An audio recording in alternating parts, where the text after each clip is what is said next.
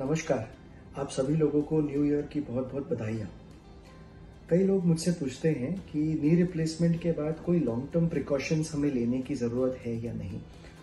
सो so, दो precautions बहुत ज़रूरी हैं। नंबर वन हमें अपनी बोन डेंसिटी का चेकअप रेगुलरली करते रहना है। सो एवरी टू और three years keep checking your bone density अगर बोन डेंसिटी कम हो रही है तो हमारे इम्प्लांट्स का फिट लूज हो सकता है। तो हम अगर प्रोएक्टिवली हमारी बोन डेंसिटी चेक करते रहेंगे तो और अगर उसमें कम आती है तो we can increase we can take steps to increase our bone density ऐसे मेडिसिन अवेलेबल हैं रेगुलर एक्सरसाइजेस से हम बोन डेंसिटी बढ़ा सकते हैं।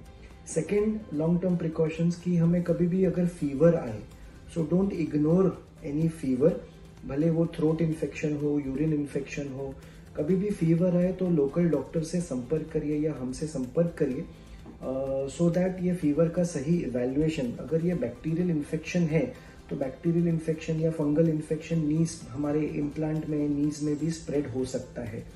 So it is important to evaluate any fever that comes after a knee replacement so ये दो precautions अगर हम लेंगे तो हमारी लॉन्ग टर्म रिकवरी भी अच्छी रहती है। अधिक जानकारी के लिए हमें संपर्क करें। Thank you so much and wish you all a very happy new year.